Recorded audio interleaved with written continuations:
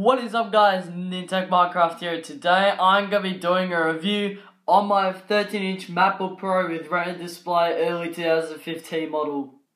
Now I've owned this laptop for about a month and I said that in the unboxing video which by the way guys I will leave down in the description below. Uh, I'll be uploading a review on it within a few weeks but however during January I did not have time to make it because it was, it was summer break here in Australia which um, I already told you guys that in the Minecraft video. Anyways, in the video, I will be going through a few things such as design, hardware, software, performance, and a few Minecraft tests on this.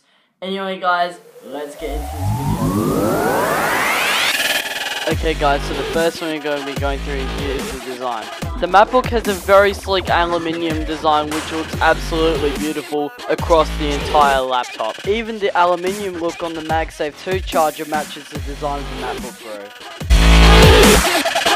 Pro. Just like the unboxing video, I'll be going through the ports. On the left side of the computer you have a MagSafe 2 port for fast charging, two Thunderbolt 2 ports, a USB 3.0 port which is great for connecting flash drives and external hard drives.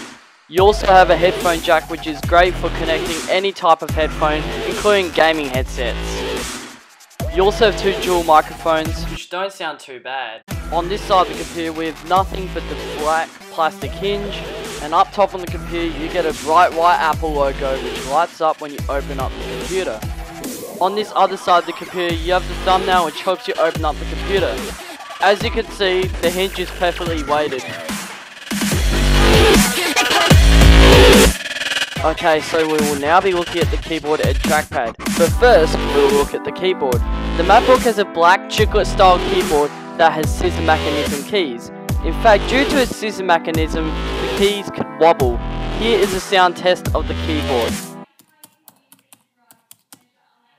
Now to the trackpad. The trackpad is the Force Touch trackpad, however it still may serve OS X's most really multi-touch features such as scrolling, going to the launch pad, and swipe to control. But however, this has a new feature called Force Click, which brings many enhancements to the OS, such as looking up words, events, quick preview for photos and videos, looking up folders, and even renaming folders. Here's the sound of the Force Touch trackpad in action. I think the keyboard and trackpad are absolutely great. Now to hardware performance, but first, before we get to performance, we'll get to the hardware. The specs are a 2.7 GHz Intel dual-core i5 Broadwell processor, 8GB of RAM, 256 gigs of PCI-based flash storage, and Intel Iris Graphics 6100. Performance now. When I went on to Geekbench, I saw a single core score of 2,976, while the multi-core score is 6,222. To fully test the performance, I will be doing some tests, starting off with a boot test. As you can see, the MacBook Pro boots really fast, and I got an impressive score of 7 seconds, which is very impressive. When loading the Google Chrome web browser, it came up instantly, which is very impressive. However, when launching an editing program such as iMovie, it does take a bit longer than launch a web browser. It took about 4 seconds for me, which is still pretty good. To export times now, the clip showing here is just a sample 1 minute clip of me going to latitude and having some fun, Anyways, the settings I'm exporting is at 1080p at 30 FPS in the Apple ProRes. The export time is pretty quick, it was a very impressive 37 seconds.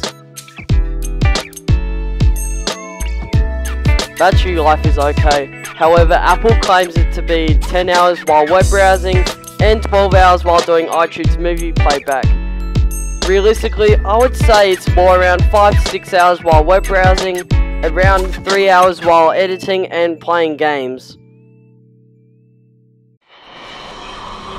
Now to the webcam, is a 720p FaceTime HD camera. It is not too bad in quality, it is good for some social network selfies, however, I would not recommend using it as your main camera for taking photos of scenery or whatever. Also, you can hear the internal microphone from here, which isn't too bad, as I said in the ports section in the video. Okay, so we are now doing a few Minecraft tests on this. For this test, I'm going to be setting the graphics to fancy, clouds to fancy, the render distance 12 chunks, and the VSync off. First test, we're doing this in the survival mode in single player, and as you can see, we are getting around 56 frames per second while not screen recording. And here we get around 27 frames per second while screen recording with QuickTime Player. We're now going to be testing a few online games. It's Skywars, in Minecraft Skywars and Hypixel, we get around 92 frames per second while not screen recording. While recording, we get around 39 frames per second, which is very impressive.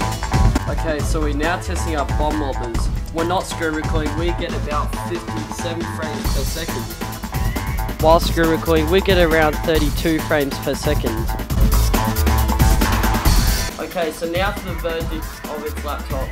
The computer does have its pros and cons, so I'm going to read it out for you guys. The pros are very fast SSD, great performance, runs Minecraft okay, the Retina display and the USB 3 ports, the Thunderbolt 2 ports, and the SDXC card reader. The cons are the battery life, which is not as good as what I expected, the price, which um, I got the middle configuration, so it costed me about 2,300 Australian dollars. The battery cannot be replaced, and the RAM isn't upgradable either. So my score out of 10 is about a 9. Anyway guys, I hope you guys enjoyed this review. Please leave a like, comment and subscribe to the channel. This is Nintech Minecraft, signing out.